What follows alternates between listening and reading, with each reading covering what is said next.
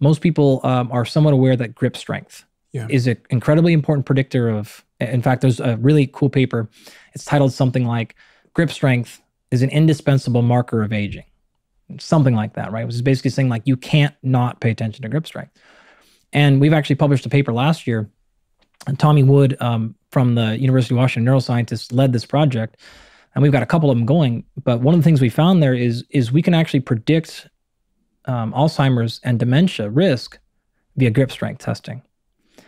And, and strongly, we actually have a project right now that we validated in the UK Biobank, which is 500,000 people or so. We validated it in the American equivalent, which is called NHANES.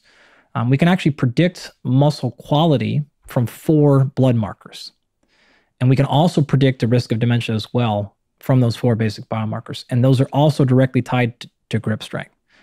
And so looking at things like that is saying, okay, you have some potential signs of, of either short-term or long-term physiological stress that's happening and you don't necessarily feel it yet because you're 35 or 45 and you don't feel super weak, but we're seeing these early signs. Um, one other example of that, and I'll, and I'll caution to say that there's only been one paper on this.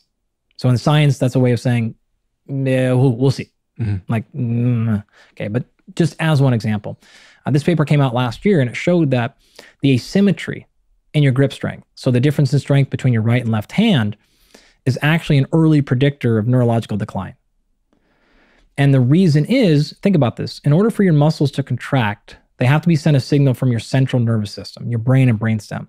And if you're having significant asymmetries from one side to the other, and by this they meant over 10%. Mhm. So if you have a grip strength of 40 kilos on the right hand, 10% of that would be four kilos. So if your left hand is 30 kilos, that's way more than 10% difference.